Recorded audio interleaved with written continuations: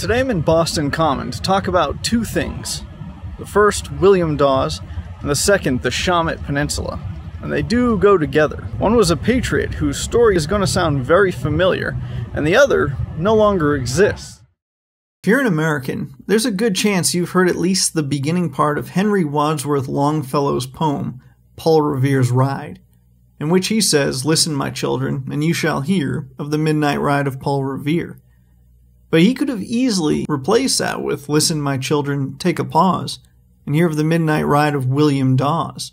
And that's because, along with Paul Revere, William Dawes was one of several riders that night. Dawes and Revere left Boston simultaneously, with Revere rowing across the Charles River to Charlestown before climbing onto his horse, while Dawes departed the city on land, passing through Boston Neck shortly before the city was shut down by the British. William Dawes Jr. was born in Boston, Massachusetts in 1745. By trade, he was a tanner, but he was also active in Boston's militia. Dawes was instrumental in Boston's militia securing four cannons from British Army control in 1774. And later on, he also helped steal two cannons out of a building that was under guard by the British, sneaking it through a window and out the back of the building before hiding it in a schoolhouse. But what he is most famous for is the same as Paul Revere.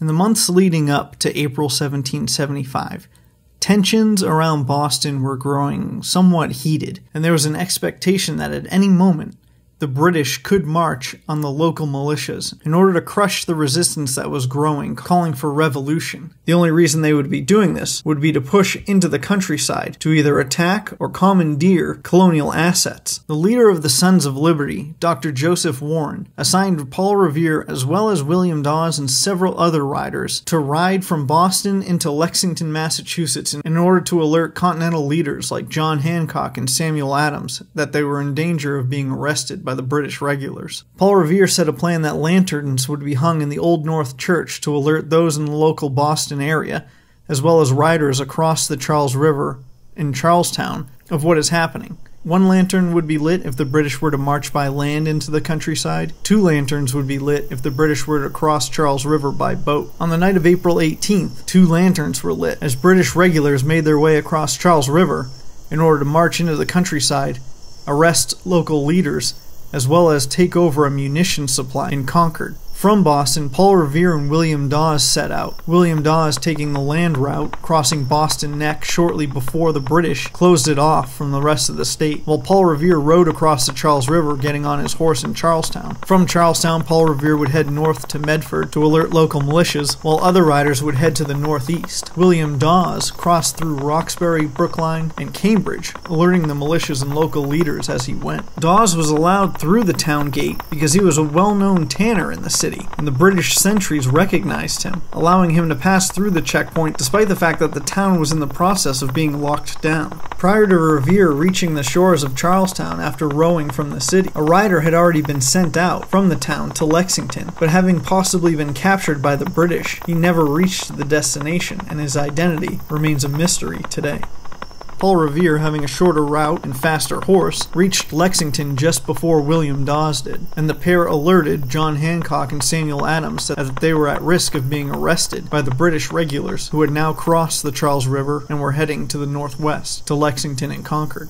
At Lexington, Dawes and Revere were joined by a young physician named Samuel Prescott, and the three rode from Lexington into Concord. A British patrol made up of British mounted officers stopped the trio on the road, and the three rode in opposite directions, with Dawes riding into the yard of a nearby house, shouting that he had lured two officers there, and the British gave up following him out of fear that they were being ambushed. Dawes's horse bucked him off in the commotion and ran off, and Dawes ended up walking back into Lexington, while Revere was captured. Prescott Managed to get past the British, alerted the militias in the town of Lincoln before making his way to Concord, where he told his brother and other local leaders that the British were going to attempt to take the munitions located in Concord. The church bells of Concord rang, waking up the American regulars, and the British, who had been marching at that time through Cambridge, no longer had the element of surprise that they were coming. All the while, these riders were going from town to town, alerting the local Americans that the British were marching to suppress the Continental leadership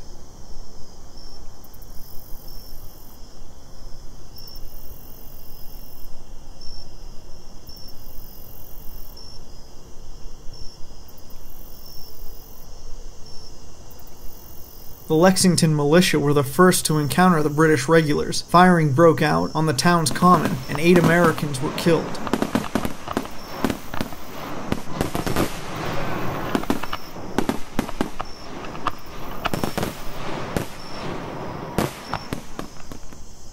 The British regulars continued their march to Concord in order to secure the town and destroy or take the military supplies that were cached there.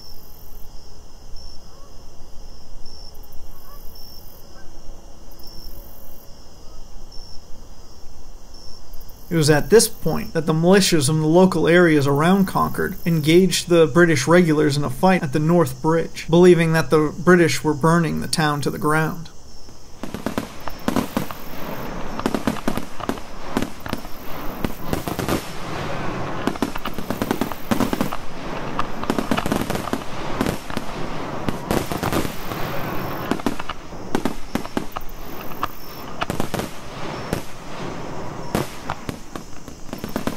Three British and two Minutemen were killed during the fighting. At the same time, a reserve of British regulars were leaving Boston, bringing with them cannons marching through Cambridge onto Lexington.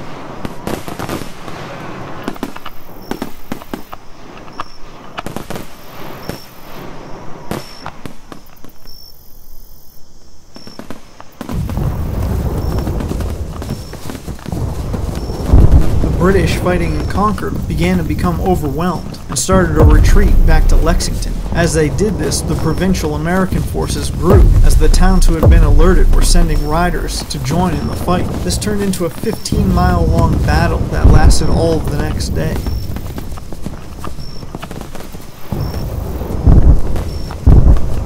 The British were reinforced at Lexington by the reserve contingent that had left Boston, but even that wasn't enough.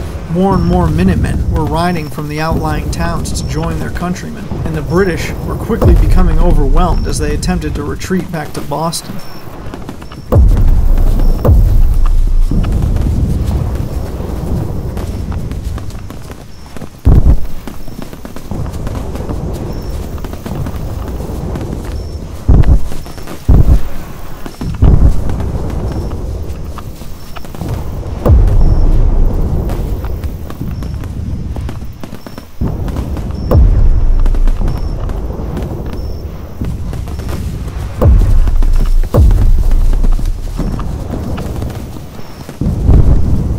so many Minutemen joined that the British ended up being outnumbered 2 to 1 before making it back to the shores of the Charles River, where they could row across back into the city of Boston. By the end of the day, 243 British regulars were killed, wounded, or missing. It was then that the siege of Boston began.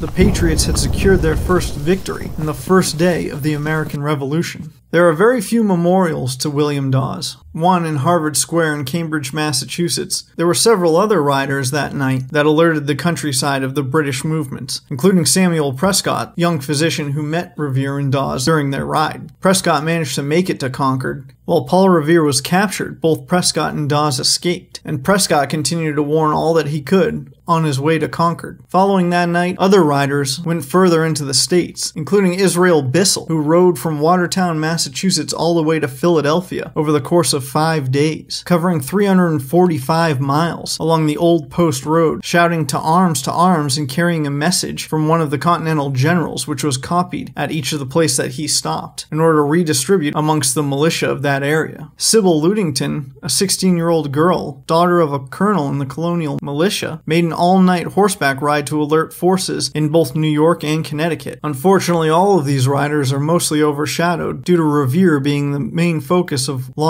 Poem. While Revere rode across the Charles River to Charlestown to begin his ride, Dawes crossed a 120 foot wide strip of land known as Boston Neck, at the time the only land connection of the city of Boston to the surrounding areas. Just after he rode across the neck, the British sealed it off by closing the fortified gates leading into the city. The present day outline of the city shows almost no place that could be considered a neck, and the city itself can barely be considered a peninsula. And that's because the city was originally connected by that Boston Neck that William Dawes rode across to alert his countrymen. Boston was originally a peninsula known as Shawmut Peninsula, and it was connected to the rest of the state at the town of Roxbury via Boston Neck, that 120 foot wide stretch of land that connected the peninsula to the state. On either side of that neck was deep deep mud and marshlands, making it almost impossible to get to the peninsula except through Boston Neck, which is why it was so easy for the British to shut off the city after Dawes rode across the neck. Shawmut Peninsula was originally settled by one man named William Blackston, or Blackstone, depending on how you want to pronounce it. He became the first colonist to settle in Boston, living alone there, before allowing about 50 Puritans from Charlestown to join him in 1630. He lived on the north end of the peninsula, across the river from Charlestown, in what became Blackstone's Point.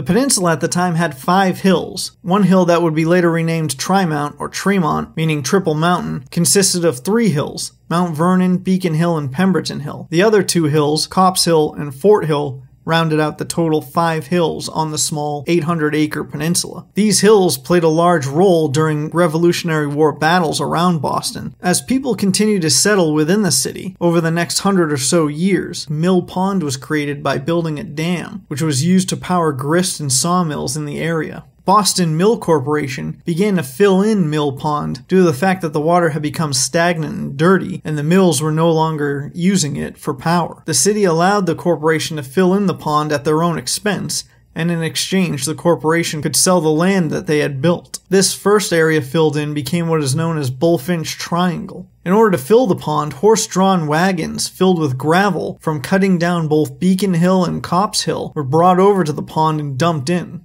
Tremont originally reached almost 140 feet above sea level and was the dominant physical feature of the peninsula. Only a reduced portion of Beacon Hill remains, along what is now known as Tremont Street. It took 21 years to complete, finally being finished in 1828. The entirety of Copp's Hill was cut down, except for one three acre cemetery, which they built a retaining wall around in order to prevent it from collapsing. The Boston and Roxbury Mill Corporation built another dam across Back Bay in 1814. This was intended to use the tides to create energy for the mills. They also built one of the first toll roads leading into the city along the dam, which bypassed Boston Neck, the only connection to the mainland prior to 1814. Once again, the water became stagnant and dirty, and the project was never able to be utilized to make the money that was expected from the construction. And only three mills were ever built in vicinity of the dam bringing in low amounts of revenue, and the city began filling in this dammed off area as well in 1857. This took over 50 years, with trains bringing cars of gravel from the outlying areas into the city each day. And when most of Boston was destroyed in 1872 by fire, a lot of the rubble was also dumped into the dammed off area in Back Bay. It was finally completed in 1882, doubling the size of the Boston Peninsula, and the area was named the Back Bay neighborhood. Additional areas including South Cove, were also being filled in around 1830, and Fort Hill was cut down to fill in South Cove, creating what is now Chinatown as well as the financial district. One of the last hills, Pemberton Hill, was cut down in 1835 by the Boston and Lowell Railroad Company in order to fill in tidal flats as well as build railroad tracks.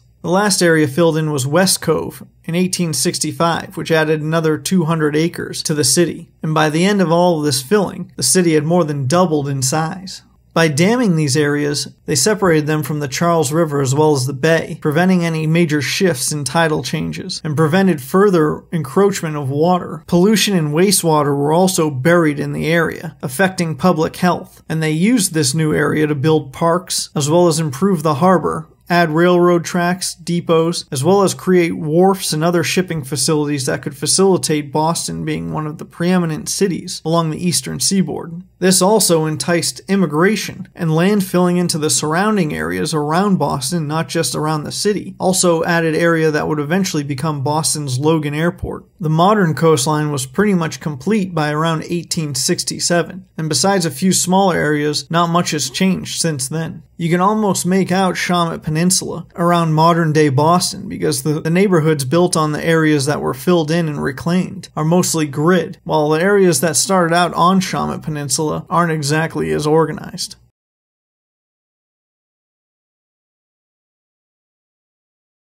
If you enjoy the videos, check out the link in the description below if you want early access or behind the scenes content on my Patreon.